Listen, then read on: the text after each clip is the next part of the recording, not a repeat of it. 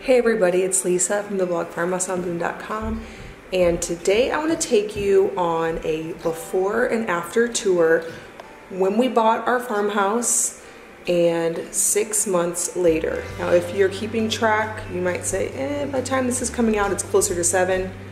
I agree, you're right, but I put off making this video. So it's just a month late, but the half of a year progress is what I want to show here.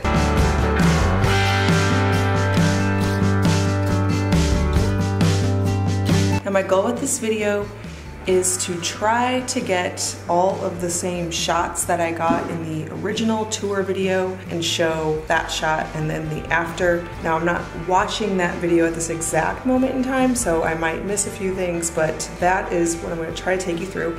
So let's start in the entryway because that's where I started my other tour. Now on the other one I did start on the outbuildings and the barn, but we haven't done anything with those except for gut the garden cottage, so I'll update those later. This is gonna focus just on the main farmhouse. When you first walk into our farmhouse, it's gonna mostly look the same. I haven't done a whole lot with the entryway. We did get the floors refinished and the walls and trim repainted, so that helped. And then we also replaced the light fixture here. This is a vintage fixture that I picked up on eBay and I had the electrician rewire and hang it. The ceiling is still planked like it was when we got it and I still have the same French doors here. The other side is more of the red color just like it was before and I eventually plan to strip that. We did add this hutch, which I mentioned, in a recent antique haul video. Now the door is still red. I debated just painting it to get that offensive color out of here. But I really want to strip it and I feel like another layer of paint will just complicate that. So it's still red. I have a mirror I want to put here and a table, but I haven't got to the entryway decor portion of this yet. So not a ton has changed in the entryway. There will be changes coming soon to it, but I think just making the floors back to their original glory and painting the walls a fresh color made everything feel a little bit better in here. Coming off of the entryway into the living room. Now I shared this whole room recently, a full-blown tour. You can visit that if you want all of the details, but basically we refinished the floors, painted, added curtains and new furniture, and this room is feeling cozy and a lot brighter. Do still want to strip this door and then the door that leads from the living room into the entryway. Okay, coming off the entryway, this is the dining room. Now, this is a room I also have not really given much attention to at all. We have the floors refinished, the walls and trim painted, and that is about it other than bringing in our furniture. This room, I just love the windows in here. It has a beautiful view onto our property and we made it prettier by brightening up all of the trim. I added a plate wall over here above the pie safe, which was easy to do. It brought in some color. In these chairs here, the set of four chairs, came from an antique shop and then we have a bench on the other side that my husband built originally with this table. I still don't love this table in this room. We'll probably eventually swap it out, but for now, it totally works. Now this is currently my office and the reason for that is we are renovating the kitchen, as you know, and that's where my office is going to go. So I brought that little blue chair. I was gonna go out in the kids' cabin but it's actually a really comfy chair. It sits a little bit low, kind of sink down into it, but it's really nice. And I have my computer, and then over here in this hutch, there is all of the paper and cords and hard drives and office supplies. So this room will look a lot different whenever our kitchen gets done and we can utilize it how I really want to utilize it. But um, for now, it's kind of just a catch-all room and office and not really a room we use for much else other than that, but we probably eventually will. I'm still loving my hutch that's full of my Flow Blue China collection and some of my ironstone. Again, that'll probably look different and more curated when this isn't my office room. I also would like to replace this light fixture but it'll definitely do for now. We would also love to strip the pocket doors, but that's probably a long way away because I think you have to actually like take the frame down to get them out. So I don't know what we'll do about that, but I'm not loving the color and I would love to eventually have those stripped out. All right, to the right, when you walk in the front door, through the French doors is the kitchen. First, we'll look at the Eden dining area. Now, I did a whole video on this, so if you didn't see that, you can um, check it out in the cards and down below, I'll link it because I'll just go briefly into what we did here. We had the floors refinished, the walls painted, the trim painted. I had a lot of people concerned when I posted this before and after makeover that we painted over wood trim. We did not. The wood trim was already painted chocolate brown. So we painted over the chocolate brown paint, but we did not paint over good wood. I would not do that. So we painted it a fresh white. We added a vintage chandelier, a plate wall, an antique hutch, a vintage Turkish rug, a table I found at an antique shop, and some chairs as well that I also found at an antique shop. It's all vintage and collected and we're really loving it. Now let's move on to the rest of the kitchen. I know you guys all wanna see see it so badly and I'm sorry it's just still not done but I will explain what's going on. Not much to see here but we did add the window which I've already shown on here. We added beadboard on this wall. We have a vintage inspired schoolhouse light and then some sconces. Now the sconces can be tilted up or down. I currently have them in up position because I want the open shelving to go up as high as possible and so it might need to go up versus down. We'll see when I get that in. We still have someone working on our vintage stove out in the garage. He came the first couple times and then he hasn't come in a while. So I'm gonna have to figure out what's going on with that because we still have this ugly stove. But over there, there will be a beautiful vintage stove. There'll be a sink centered on the window. And then we ordered a fridge, a new fridge, and it was supposed to come yesterday. And they ended up saying that when they opened the box, it was damaged. So this is still the state of the kitchen. I can visualize it and it's gonna be so pretty. It just is such a long process. I ordered the trim for around the window I actually custom ordered it from a local woodworking shop because they can make it just like this trim.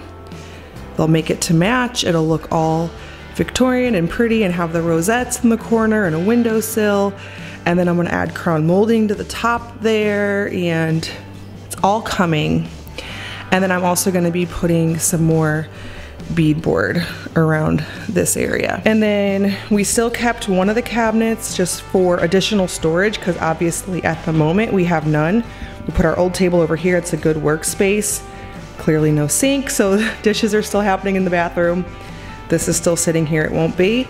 And then this whole area is gonna be a nice, like built-in office slash cabinetry area. So not much to report on the kitchen, I'm sorry to say, but it is all coming and it's coming soon. The guy that's building our island is sending me pictures and stain colors, so that should be here probably the next week. I know some of you are gonna comment that I'm out of breath. I am, I'm 30 weeks pregnant at time of recording, so yes, I'm a little out of breath, walking around talking to the camera. Next up is the mudroom. Now I am just gonna overlay some footage of the mudroom makeover that we did because I haven't touched it since. And of course, having five kids, it's always a mess. In this tour, I want to show you how our house looked when we walked through it and then the best case scenario if it was all decorated how it should be, how it looks now. Now you guys know that's not the case. We live here, but if I show you the changes that we made back when we did the mudroom makeover, that's still how it looks. We haven't done anything in there since then except make a mess. So we repainted the walls, repainted the floors. I added some drop cloth curtains that I made and dyed and shared a tutorial for that on here. Painted the door blue added a wreath, added some hooks for storage, and just kind of cleaned it up mostly. All right, over here in the pantry, again, nothing's changed except that we've added our stuff I have big plans for a pantry makeover that's going along with this kitchen makeover. So there's gonna be so much good stuff in there. I want cabinets in there and shelving, but for now, it's still the pantry that it was whenever we bought the house, except for with all of our junk in it. I'll give you a quick shot in case you just wanna see, but same thing, just a lot of junk. Now I've been asked if I'm gonna leave the flooring. I kinda like the flooring, and I think whenever my design plan goes on in here, actually it's gonna look really good. So I might leave the checkerboard flooring. I am gonna add new trim around here because this is just kind of some knockoff trim. I want the original style. Here's what the stairs look like when we first bought the house. The stair treads were kind of painted brown and really rough and the paint was just a little bit tired. So we first painted the beadboard a fresh coat of white going up. We painted the walls we had the little closet door beadboard repainted, all in fresh bright white and a semi-gloss so it'd be nice and washable.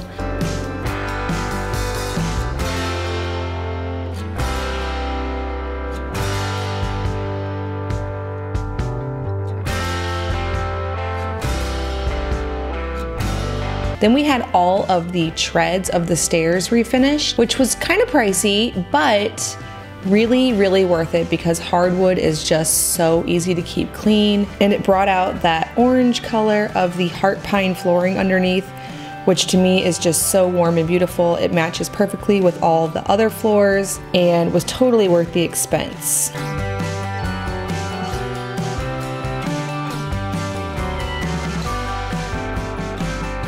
The whole area here just looks a whole lot fresher. We also painted all of the spindles fresh white as well. You can get one more shot here of going up the steps in the old brown paint that was there before.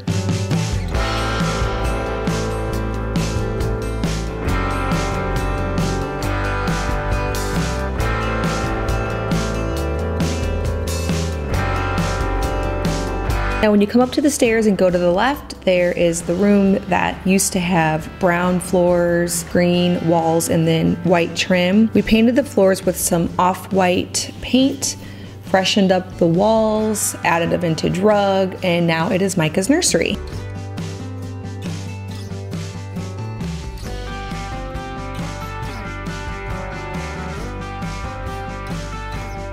The floors were patched in several places. There was an area where we see that steps used to come upstairs. So anyways, the easiest solution was to paint them.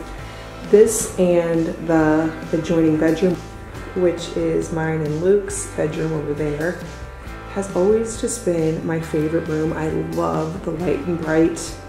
I just love these floors. Now, of course, I'm really glad that the rest of the house has wood flooring that isn't white because it's just so easy to keep clean. I love the rich tones, but I do like this little area of light and bright. also is really good for photos. Whenever I was taking pictures for my book, there was so many times when I used the light in these rooms with the light bouncing off of the floors and it just made for some really dreamy photos. If you're a photographer, you know how wonderful white is. So having these two rooms like that is just really nice for that. It's just a quiet little refuge for me and Luke, and I really love it. Well, as far as some of the details in this room, I found this wool rug at an antique shop. I would really like to replace the crib, maybe get something that has kind of a vintage feel to it. This one's got some stickers on it. It's been through a few kids by now. This will be probably where the baby goes after about six to 12 months after he or she gets out of my bed. So then Micah will move in with the big boys. So I'm probably gonna get a new crib at some point. I have a little slip covered bench, a basket, a handmade blanket, and then I love the way this view peeks into our room where there is that really beautiful armoire that acts as our closet. And then over on this side, I just have this old dresser and some baskets to hold some of Micah's things. I made the linen curtains. I would like to replace this light fixture, but for now it will work. It's a little bit primitive to me for this style of a room, but it totally works right now. It's definitely not overly offensive or anything, so it'll stay for a while until I find that perfect fixture. Now we still plan to add a door here, but for right now it's just a curtain that whenever Micah goes to sleep, we just pull shut so that he can't see kids going up and down the steps right here. Now for the master bedroom portion, I'm just gonna include the footage from the tour I did several months ago. And the reason for that is we haven't done anything to the master bedroom since. So you can see the before and after of the brown floors and then the light and bright floors and what we've done in there. Nothing has changed since my last video on that. Now I do plan to do a few things. I would like to get some different nightstands. Something wood or something with some color would be nice. I'd like to do a little bit of wall art. I might eventually add some curtains in this room. There's a few rooms in the house I wanted to add curtains and that might be one of them. And just overall keep my eyes peeled for some unique pieces to bring into this room. But for now it's pretty plain. We've painted the trim, the walls, the floors, and brought in our own furniture and then the armoire, which we had to hire movers to bring upstairs because it was so heavy. And then I also added the vintage chandelier, which I found from a local antique shop. Coming off of our bedroom is of course the master bathroom. So we haven't done hardly anything in here. You can see we've painted the floors before they were chocolate brown we came in and painted them Benjamin Moore Tapestry Beige with porch and floor paint. Again, they're just kind of damaged, and so the best solution in this case was just to paint them. The floor guy didn't want to mess with them, and I actually really love this room so much. Now, obviously, we need a new vanity, a new medicine cabinet, but the bead board and all of the bright white, I added my ticking stripe curtain here. And then over here, this window just lets in so much natural light and it's a pretty view of our property. I just really love this bathroom. I don't feel like it'll take a ton of work to make it really pretty. I don't really want to switch the layout or really much about this. I don't know that we'll switch out the tub. I'm actually really liking the tub and shower combo. I might do a different shower curtain but I like the white tile. Um, I like the beadboard. I like the door. I probably won't do much except for swapping out some of the like vanity and medicine cabinet and then I feel like it's pretty much good to go, which is great. I know it's not like a modern bathroom, but it's so bright in here. It just has like a spa-like feel. I don't know how to describe it, but I really love it. And we haven't done much to it.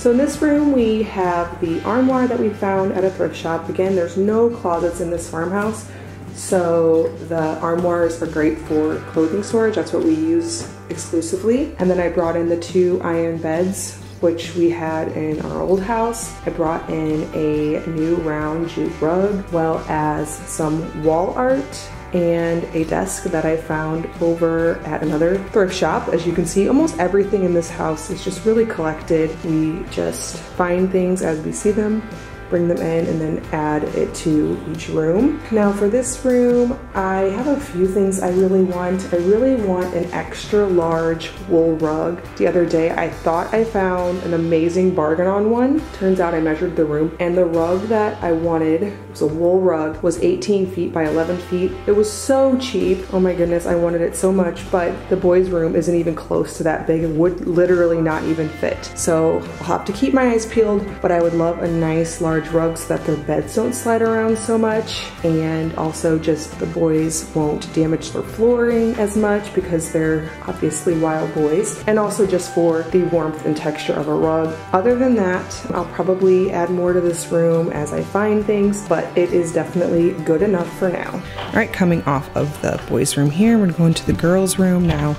This is a room that not really allowed to touch. Now, of course, I could fight the issue, but it's one of those things that isn't worth it. My little girls are not minimalists.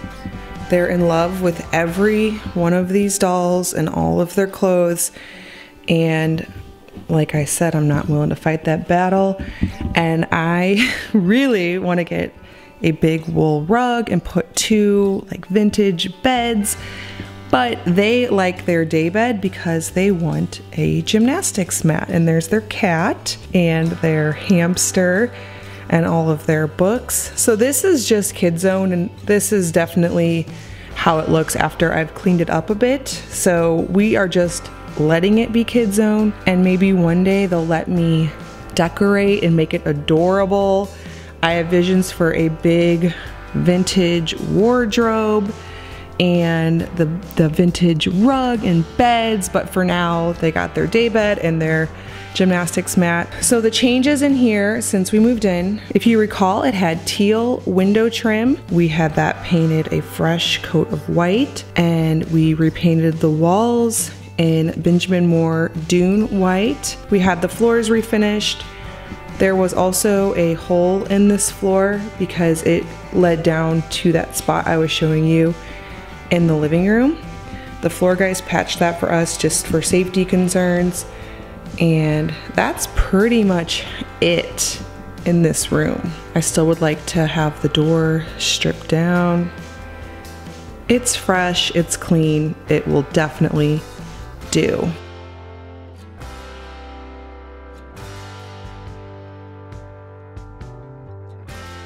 All right, in their bathroom, same thing. We didn't redo the flooring yet. All that we've done is had everything, the walls windows and ceiling painted and that's pretty much it. All right, well I hope that you enjoyed that tour and you're able to get a little bit of perspective on what the house looked like six months ago and what it looks like today. It is still totally a work in progress. I kind of hesitated to make this video because it's not done, but I think that sometimes you just see the process and it's usually a slow one. We actually hired a few things out, like the floors and the walls and the trim all being painted and refinished. So in my opinion, we've made even more progress than I expected.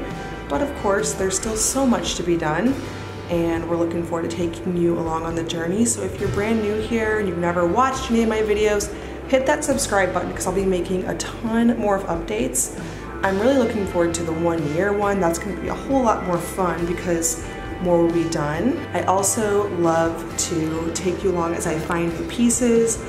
I love showing you the antique hauls that I get and where the things that I'm finding are gonna go and just share the entire process of us collecting and putting this old Victorian farmhouse back into a comfortable home to share and enjoy. All right, thank you so much for watching. Hit that subscribe button if you're brand new. I also make two new videos every week on food from scratch, natural living, and a handmade home. Thank you so much for stopping by the farmhouse.